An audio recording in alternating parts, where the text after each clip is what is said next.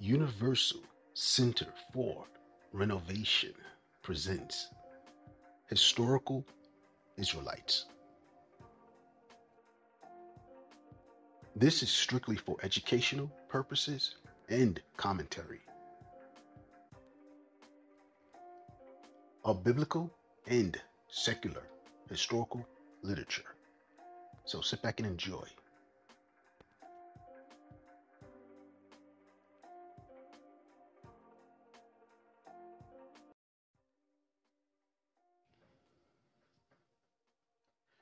In the beginning, God created the heaven and the earth. And the earth was without form and void, and darkness was upon the face of the deep, and the Spirit of God moved upon the face of the waters. Genesis chapter 1, verse 1 to 2.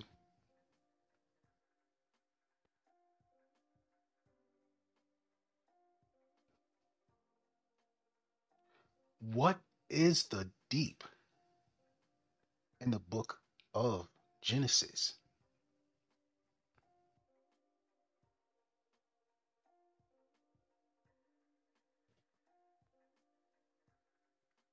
Mankind's knowledge was of the very way the physical medium itself was constituted and how it operated. Grid of the Gods Joseph P. Farrell, page 169, Oxford Scholar. The ancient Sumerians, Egyptians, Chinese, and Indian civilizations had a deep and profound understanding of matter and energy. The Bible gives deep insight on how matter and energy was created and the deep understanding that the Israelites possessed of this information.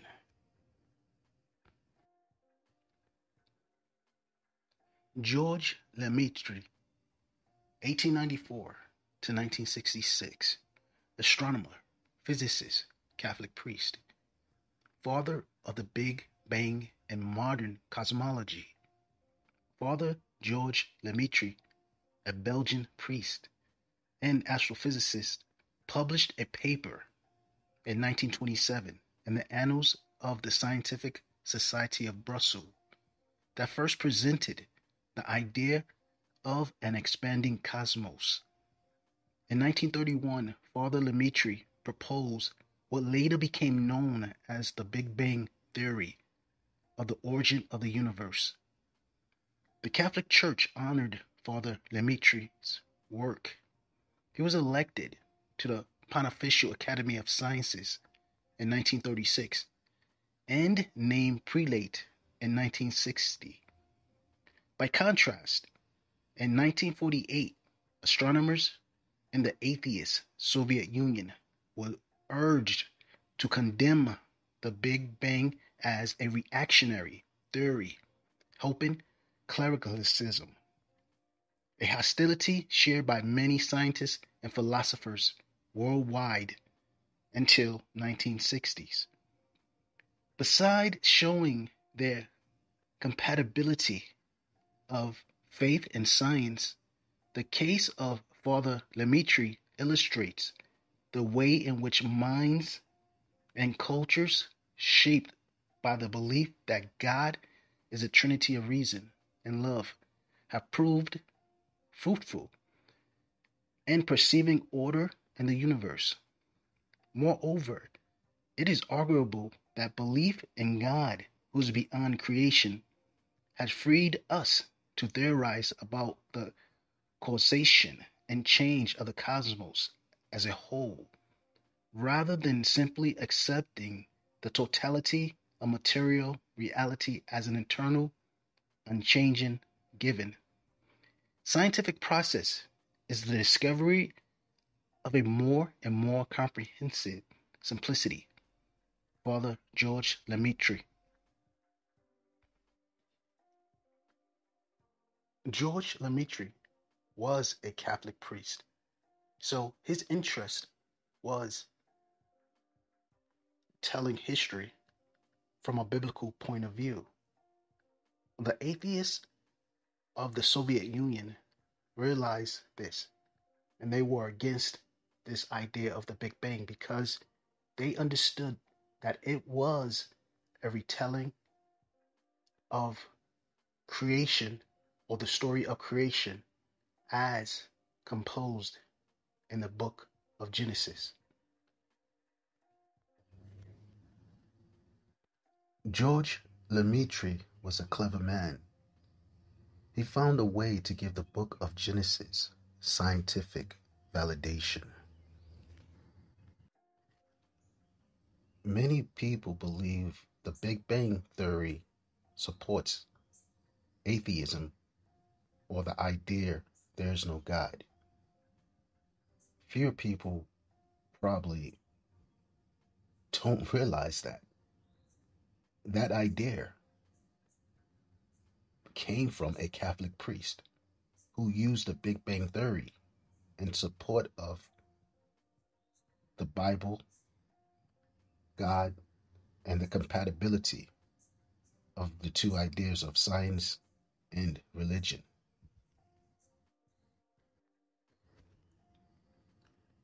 The diagram of the Big Bang showing stages of the universe expansion, the Big Bang event, then inflation, then quark soup, which are pre or subatomic particles, big freeze out, first galaxies, Big Bang expansion, 13.7 billion years. The time is really not relevant. And I'm going to explain why. Key feature Father Lemaitre predicted in 1927 that the recessional velocity of distant galaxies would increase in proportion to their distance, like the separations of spots on an expanding balloon. Two years later, Edwin Hubble confirmed the existence of that law, which has since been validated by space based telescopes to a high degree of accuracy. These ideas are based on Father Lemaitres' idea of the Big Bang. The Big Bang Theory is a very old idea.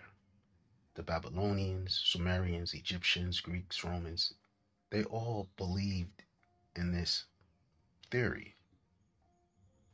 Father Lemaitre updated this ancient idea or view of cosmology or the beginning of creation. Let's take a little look into the Big Bang Theory. Time begins. Number one, the cosmos goes through a super fast inflation, expanding from the size of an atom to that of a grapefruit in a tiny fraction of a second. Remember, the ancient Egyptians called Atum, which is the atom, the atom, atum. And the ancient civilizations call this idea or this period the cosmic egg. The atom was considered the cosmic egg. Number two, post inflation. The universe is a seething hot soup of electrons, quarks, and other particles, subatomic particles. Number three, a rapidly cooling cosmos permits quarks to clump into protons and neutrons. This takes place, according to this theory, in one second. Number four, still too hot to form into atoms. Charged electrons and protons prevent light from shining. The universe is a super hot fog. Number five, electrons combine with protons and neutrons to form atoms, mostly hydrogen and helium. Light can finally shine.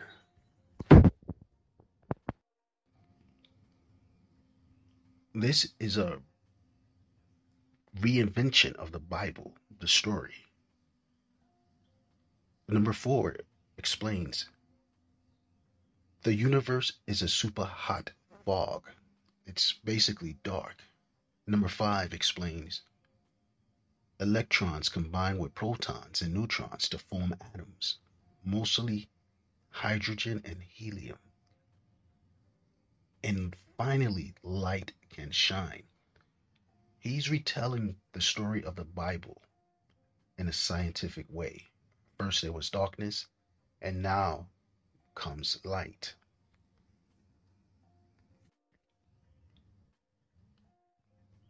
One billion years ago, as you will see for yourself, the timeline is really irrelevant.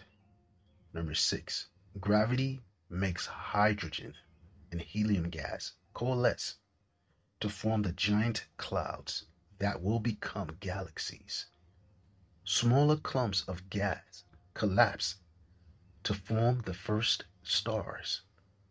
Number seven, as galaxies cluster together under gravity, the first stars die and spew heavy elements into space. These will eventually form into new stars and planets.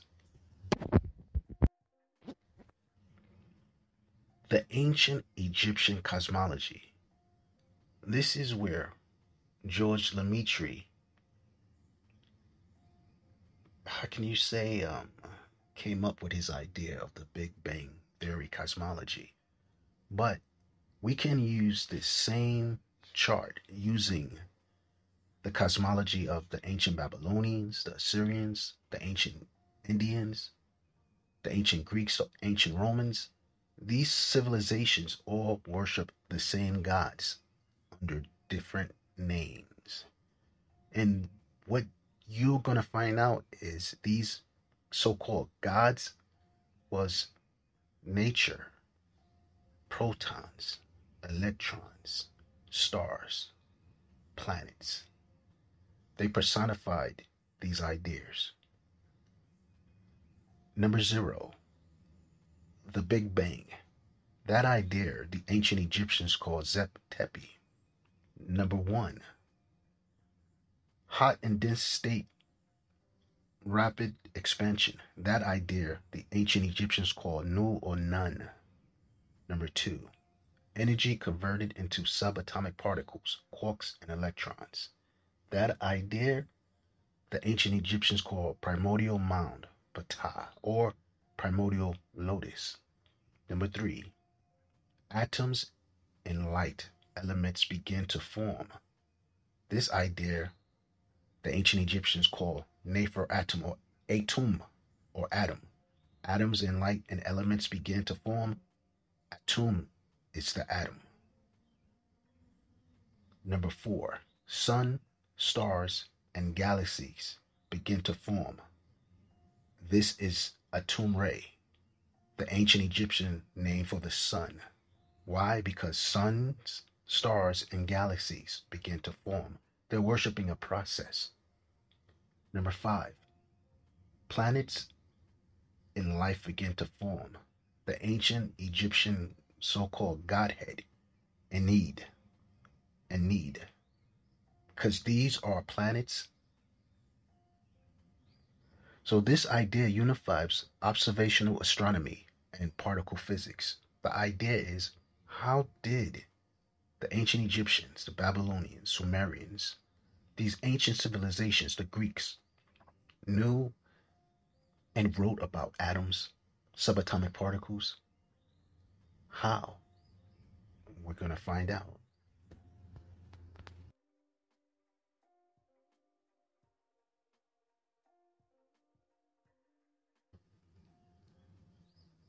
The ancient Egyptian goddess Nu or Nun. Personification of unformed matter, wave particles, sea of energy, Egyptian goddess Nu, personification of unformed matter, subatomic particles, wave particles. She's represented with these wavy lines. These are particles that move in waves. That's why she's represented with these waves. Sea of energy, ocean of energy.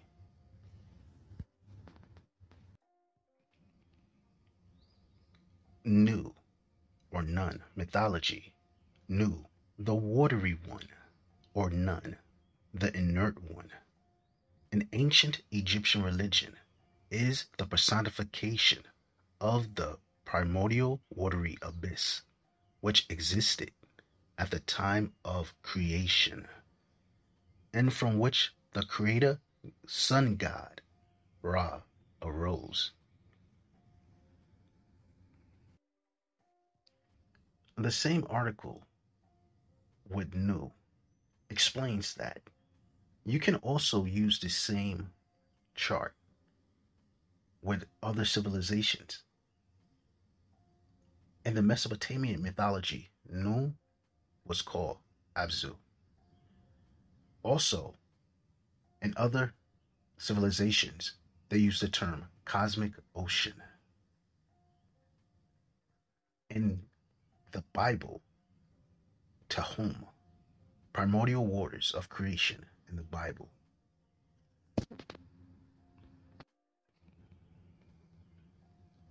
Tehom. Tehom is a biblical Hebrew word meaning the deep.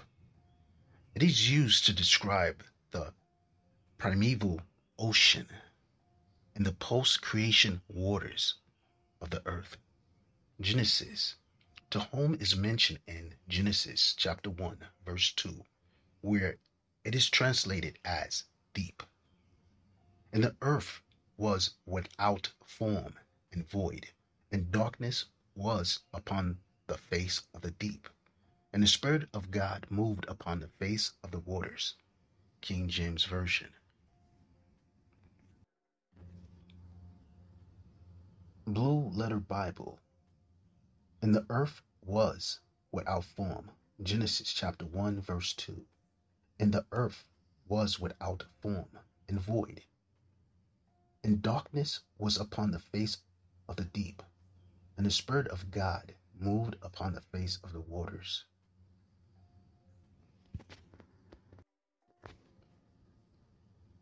The word for of the deep is tahum.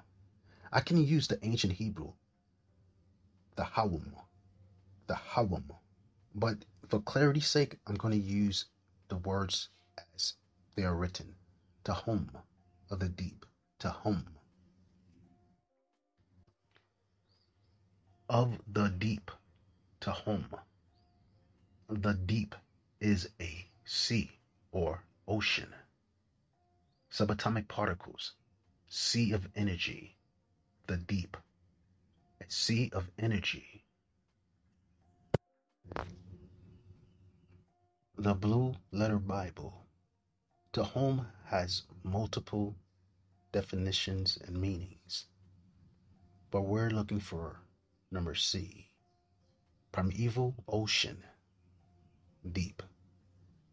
Primeval ocean, deep.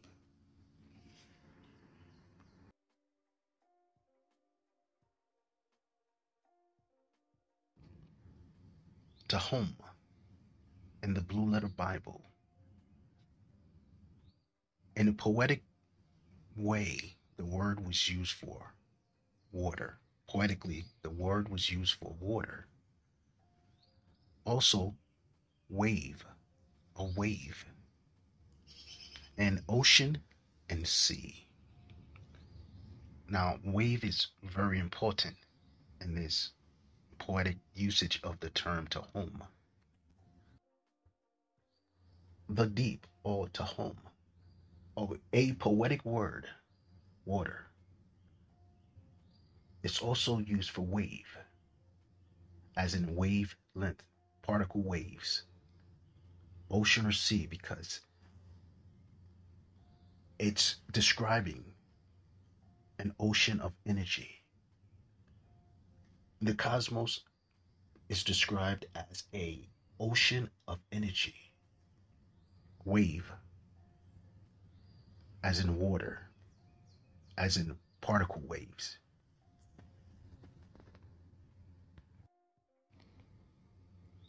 The cosmic ocean.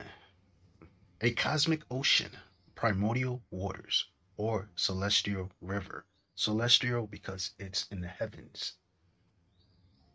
All civilizations use these poetic terms to describe this ocean or sea, this cosmic ocean of energy, radiation, particles.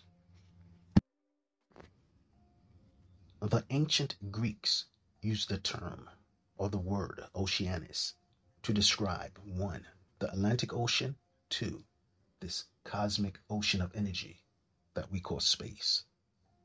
The ideas of ancient Greek mythology the ocean demonstrates a typologically more advanced stage when the image of Oceanus becomes the object of pre-scientific research in natural philosophy. Oceanus is presented first of all as the greatest world river surrounding the earth and the sea because the earth is inside space, giving rise to rivers, springs, sea currents. It's a shelter of the sun because the sun is in space. Shelter of the sun, moon, and the stars, which they rise from the ocean and enter it. They're describing the sun, the stars, the planet living inside space in this ocean of energy. The ocean river touches the sea but does not mix with it. The sea, as we know it, the seas, the oceans, they, we're in the earth, we're in space. But the rivers, the oceans that we are familiar with doesn't actually connect with space. It's in space. That's what the Greeks are trying to explain. In the extreme west, the ocean washes the boundaries between the world of life and death. The creation.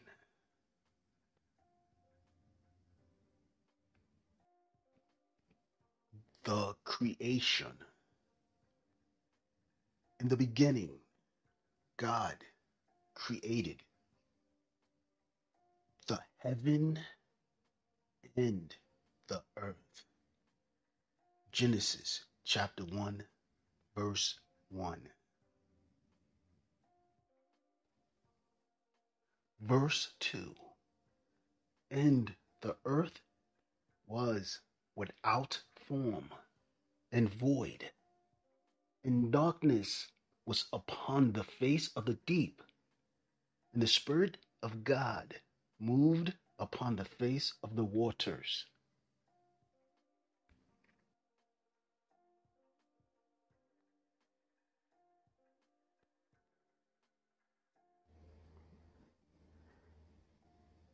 The book of John, chapter 1, verse 1.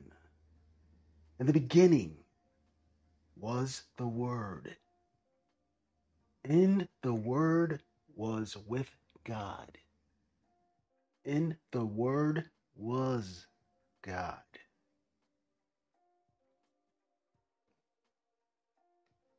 Verse 2 The same was in the beginning with God.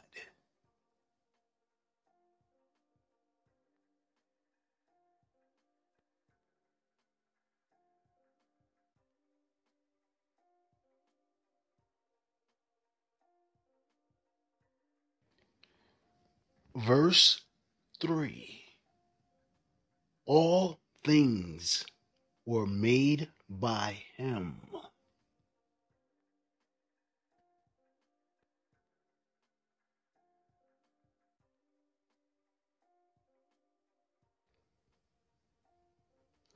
And without him, there was not anything made that was made.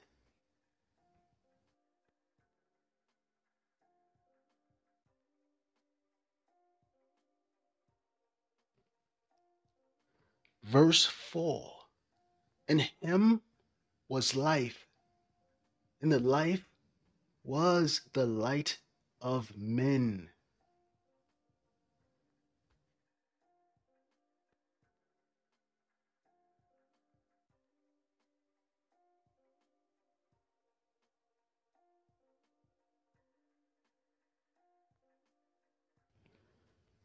Verse 5 And the light shineth in darkness, and the darkness comprehended it not.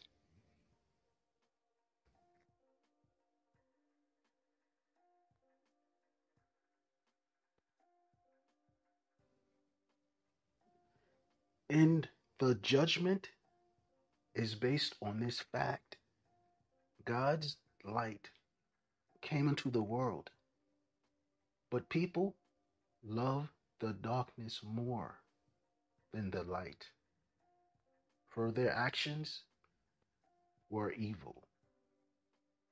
John chapter 3, verse 19, NLT.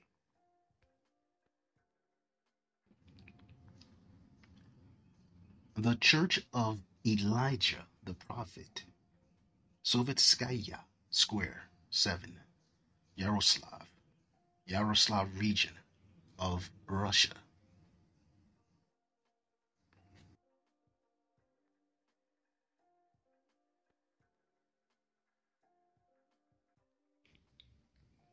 This fresco can be found in the Church of Elijah in Yaroslavl, Russia. This icon represents the days of creation from the book of Genesis.